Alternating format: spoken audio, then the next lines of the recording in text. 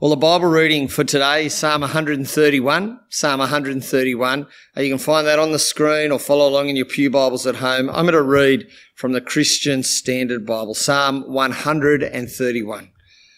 A Davidic song of ascents. Lord, my heart is not proud. My eyes are not haughty. I do not get involved with things too great or too difficult for me. Instead, I've calmed and quieted myself like a little weaned child with its mother.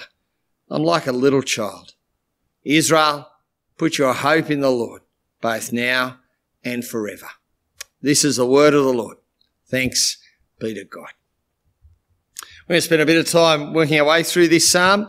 Uh, you'll find an outline there on the screen. You might have printed it off. Uh, if you have any questions, please feel free to email them through to Neil or myself. Uh, times like this, uh, as we close out a year, unlike anything many of us have ever experienced, uh, it's often worth pausing and asking, what has sustained me? What's given me both momentum and rest? Where has my hope been established this year? Over the last few days, as the year has come to a close, are the numerous articles that have emerged in newspapers and news feeds looking back over the year have nominated all sorts of answers to these questions humanity, science, cooperation, our national psyche, habits and routines, hobbies, familiar things, learning new stuff, family, relationships, community. And the recent spike in COVID in Sydney has exposed some of these and their fragility.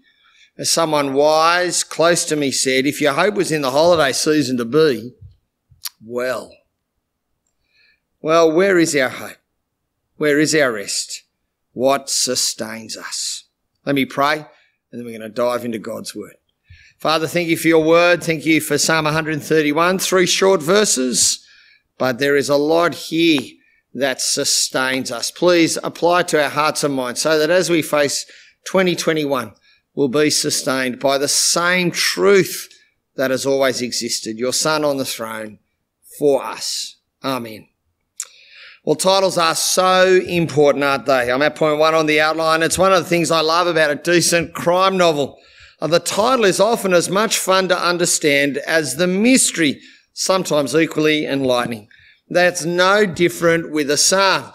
Now, a psalm is a poem, often a song. Uh, the poetry of God's people was compiled as a book sometime after they came back to the land that God had given them, when they'd been away in exile for their rebellion against God. Uh, the Psalms themselves seem to have been written across a vast amount of time, uh, from the time of Moses right into the period where God's people were away from the land under God's judgment. Compiled after God's people returned to the land, uh, the book of Psalms was meant to be used by God's people as they gathered together as a mob. Uh, to put it simply, it's the hymn book of the people of God. Organized into five books, the Psalms range across the vast plane of human experience and emotion. At their heart, they're a response to the world lived in by dwelling with God, refuge with Him, dependent upon God's revelation of Himself in His Word. Now, towards the end of the book are a set of Psalms titled Songs of Ascent, Psalms 120 to 134. Now, the title's debated, it's discussed, but at least this much seems to be clear. They were sung by God's people as they walked up to the temple in Jerusalem, gathering as a community in the presence of God. the temple was that huge building that sat in Jerusalem at the top of the hill that symbolized God dwelling with his mob. It's also the place of sacrifice, a symbol that something significant stood between God and his people and them living together, stopping their dwelling together. And so the walk to the temple in Jerusalem was up a hill, an ascent. The image is one we need to capture in our minds, the image of God's people streaming in for one of the key festivals in the life of God's people. As they come streaming in from their homes and their villages stretched out on the roads, these are the songs they would have sung, lifting their eyes to the top of that hill, to that great symbol of God's desire to live with his people and the sin, the attitude and action in each of their hearts that said, I'm God and God's not, that kept them apart. and the symbol of sacrifice that displayed both the cost of sin and the cost of God's forgiveness. All of that is represented in that symbol they see as they lift their eyes as they walk up the hill and they would have sung as they gazed at that temple. Well, that's not all in the title, is it? There's a bit more too, isn't there, than just a song of ascent. Uh, the Psalms ascribed to David. It's Davidic. Remember David? described by God as a man after his own heart, chosen by God to lead his people, taken from the humble place of the youngest son, shepherd in the paddock, showered by God's promise to send the king of the universe from his own family line for God to build him a house through someone who would be God's own son. Well, David had been the greatest of the kings of God's people brave and poetic, emotional, mercurial, violent, gentle. He was a, he was a man who'd known the heights of kingly authority and success, the depths of sin's consequence in his own life. That's some title, isn't it? A song composed by the greatest of God's kings of his people. To be sung as God's people gathered together in Jerusalem at the symbol of God's desire to dwell with his mob. Some title. Well, the poem itself is quite simple, perhaps even maybe even more simple than the title. Uh, the poem itself is quite simple, three short verses with imagery that resonates deeply with our own experiences in life. And that point two on the outline. Now, the first verse gives an honest assessment of the psalmist, of those singing the psalm. Lord, my heart is not proud. My eyes are not haughty. I do not get involved with things too great or too difficult for me. Now we need to keep the image that we've just been given by the title of the psalm in our minds. God's people sing this song as they climb the hill into Jerusalem to gather as God's mob. And as they climb that hill, remember, they lift their gaze. And there stands that massive symbol of God's desire to dwell with his people. There stands a place of sacrifice, symbolizing that there's something between God and his people. There stands the reminder of who God's people are. And such a reminder creates a statement of humility in the psalmist. Now I know who I am. Confronted by God, God's desire, my problem. Now I know who I am. It's expressed in a series of three knots. I'm not proud. I'm not haughty or arrogant, not involved with things too great or too difficult for me. It's a statement of limits, really, isn't it? A recognition of the limits that we humans have, faced by the magnificence of the symbol of God's place with his mob. The psalmist states very clearly, I'm limited. And that's what true humility is, isn't it? A realistic assessment of who I am before God. A realistic assessment of who I am before God. Uh, but the statement goes further than just, I'm so tiny. You see, that last not there at the end of verse one literally means I've not occupied myself with great matters, with things too wondrous for me. Now, those words translated great matters and wondrous things are applied to the works of God alone in Psalms. Psalm 86 verse 10, Psalm 136 verse 4, Psalm 145 verses 5 to 6. I, I suspect the psalmist recognizes not just his limits, but also his tendency to think he has no limits. I think the psalmist here is confessing his sin, that he has the tendency and desire to seek to do the things of God when they're the province of God alone. In that sense, he's confessing, confronted by the symbol of God dwelling with his mob, that he's stretched too far, seen to be God instead of God which leads to a statement of repentance. Look at verse 2.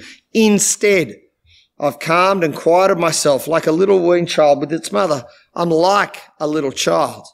Instead, it's a statement of contrast, isn't it? Well, what follows is the result of what he's just recognized. His humility, this statement of confession. Instead of attempting to be God, what does he decide instead? Well, repentance is to turn from attempting to be God instead of God to turn to God, being God. Let me say that again. Repentance is to turn from attempting to be God instead of God and to turn to God, being God. Instead, he displays that to Oh, what does it look like? Uh, images are so powerful, aren't they? When they touch on our everyday lives. A Paul Kelly song, How to Make Gravy, is heartbreaking in the way it make, makes the making of gravy an image of the pain of Christmas separation. The image that the psalmist chooses here to describe the life of repentance is a, a familiar image, one like making gravy. It's the image of a satisfied and quieted child crawling into its parents' arms, snuggling in, dependent, filled, secure. You've seen it. You've experienced it. I loved it when my kids would crawl into my arms.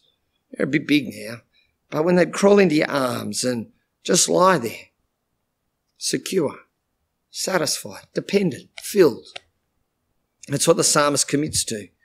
Instead of aspiring to grasping at what only God can do and be, he says, I'm crawling into his arms, resting in them. Well, confronted by his own limit, the psalmist has confessed his aspirations beyond what he's made for, humbled, repentant. He now turns to dependence upon God alone and looks around at those with him walking up the hill and says, Hey, men and women, hope in God alone, do the same. Look at verse three. Israel, put your hope in the Lord both now and forever. I'm at point four on the outline. Faced by the temple, all that he's bared in his soul, all that's been confronted in his soul. The psalmist calls those with him, the people of God, to depend upon the Lord alone. His choice of God's name has purpose. It's revealing. The Lord is the covenantal name of God. It's meant to cast the minds of the readers, the walkers, the listeners, the singers back to the history of God across all of time. It's the name used of God in Genesis 2 when he makes people in his image. It's the name used of God in Genesis 3 when God comes into the garden as human sinned and rejected him, as God confronted their sin in his mercy and justice, as God committed to crushing the snake. It's the name used of God in Genesis 12 when he talks to an idol worshiper called Abraham and says, through your, Abra- through your family, Abraham, I'll roll back sin and bring blessing. It's the name used by God as he meets his people in Exodus 19 so that they can be his people and represent him to the world. It's the name used of God as he takes David in 2 Samuel 7 and says, David, you're not going to build me a house. I'm going to build you a house instead. And through your house, my one and only son will come into the world and rule it rightly. Uh, when the Lord is used, God's people are meant to go, I, I know that God. He's got a track record. He's got a track record of complete and utter consistency of commitment and dependability. It's into the arms of that Lord that we need to crawl as a dependent child. That's what the psalmist is saying. And the temple has reminded him as he walks up to it of this Lord's constant commitment. His personal response leads to a corporate call. God's people should hope in the Lord alone because the Lord alone can be depended upon. Just look at his works. But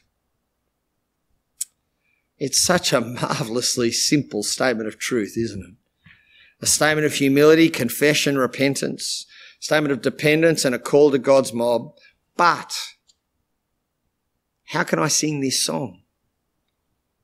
On a number of levels, I struggle to know how this song can be mine. On a purely superficial level, I'm not with the psalmist as he walks up that hill to Jerusalem. I'm separated by culture, climate, geography, time. On a slightly deeper level, I know that even the author who wrote this psalm struggled with seeing this very psalm in his life. Just look at David's life. At significant moments, this man aspired to great works, to be God instead of God, and it destroyed so much. If even the psalmist struggled to sing this psalm in their lives, what hope do I have? And on the deepest level, I know that my heart is constantly seeking to be God instead of God my natural instinct. It's so tiring, but so irresistible. I want to bother myself with great works and wondrous deeds so people know how great I am, how I can do better as God than God. And this year of all years, it's such a reality every year, but this year of all years, the agitation that comes from such pride, such misplaced hope has been stark and clear. We can't even beat a virus, yet we aspire to great deeds and wondrous works. We never more clearly revealed as futile when we seek to be God. It's a perennial problem we face as humans. It's the problem stated by the mere presence of the temple at the top of that hill. We want to be God. It fails consistently. God wants to dwell with us so we can be whole. And these clash and we're separated from Him. So how can I sing it? How might this problem be dealt with? Well, the reason anyone can sing this psalm is because God kept His promise to Abraham and David. Matthew 1 1, the historical record of Jesus Christ, the son of David, the son of Abraham. Jesus, the blokes whose birth we celebrated only two days ago, Jesus is the one promised by God to roll back sin and bring blessing and to rule the world as God's promised king. He's the end point of everything that God speaks throughout the Old Testament. Let me, let me be even blunter. Jesus is Psalm 131. In humility, Jesus knew his place in the world, his place before God. Mark chapter 10, verse 45. For even the Son of Man did not come to be served, but to serve, and to give his life a ransom for many. Independence, we're told that Jesus constantly threw himself into his Father's arms. In Matthew 14 verse 23, he is seen going away to pray as he's tempted to take matters into his own hands. In Matthew 26 verse, Uh, Matthew 23 verse 39, Jesus commits himself into his father's hands and says, not my plan, but yours, father. In Luke 23, 46, Jesus says on the cross, into your hands I commit my spirit, father in trusting God. Jesus committed his way to the Lord. Think of his baptism and then his temptation in the wilderness in Luke chapters 3 and 4. On every level, Jesus was what God's people should have been. More deeply, Jesus is what we humans should be. He understood that before God, he was dependent upon his Father, and so he lived by trusting in the Lord. His hope was in the Lord alone, even as he hung on the cross.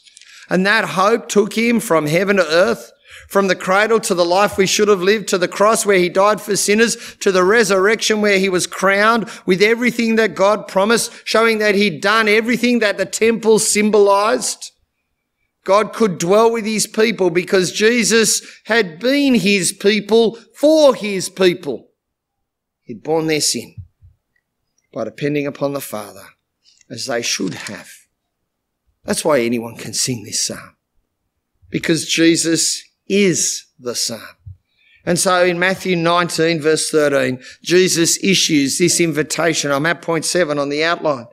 Then children were brought to him so that he might put his hands on them and pray. But the disciples rebuked them. Then Jesus said, leave the children alone. Don't try to keep them from coming to me because the kingdom of heaven is made up of people like this. And after putting his hands on them, he went on from there.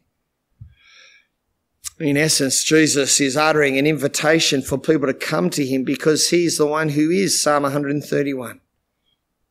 To come to Jesus is to recognize our sin to recognize our need to depend, to hope in Him alone, like a child in the arms of their parents, quieted and satisfied. How can I sing this psalm? Psalm 131 by dealing with Jesus, by depending upon Him because He is that psalm.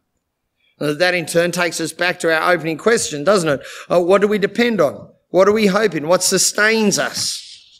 Well, the psalm lays out two very clear options if you look at it again. On the, on the one hand, we have the option of pride and agitation, of seeking the great works and wondrous deeds that God alone can do.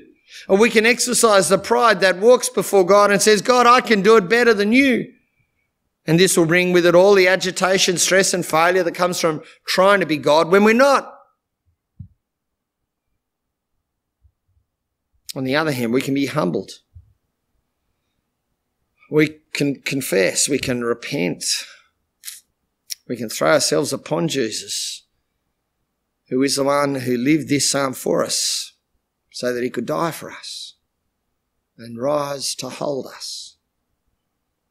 Only that second option will navigate all that life in this broken world delivers and lays at our feet. Only this second option will deal with who we truly are and what this world is truly like. Only this second option will lead to rest in a restless world. what does it actually look like? Well, I think it's as simple as three things. Time in God's Word, reading it, grappling with it, understanding it, thinking through it like the way we've just thought through Psalm 131. I think it involves time praying God's word. What a great prayer to pray this week, every day. Psalm 131 God, this is who I am. I throw myself upon you. Let my hope be in you alone. And I think it also means time with God's mob. And it's very important to notice that a psalm like this moves from an individual singing the song with an exhortation to the mob, existing as part of the mob, is part of God's design as He gathers His people in through Jesus Christ.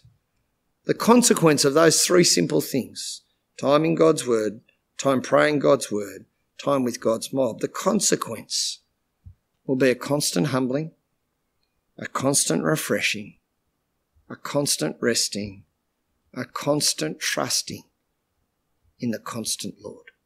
Let me pray. Father, thanks for your word. Thank you for Psalm 131. Such a simple psalm. But Father, wow, it's pretty profound, really.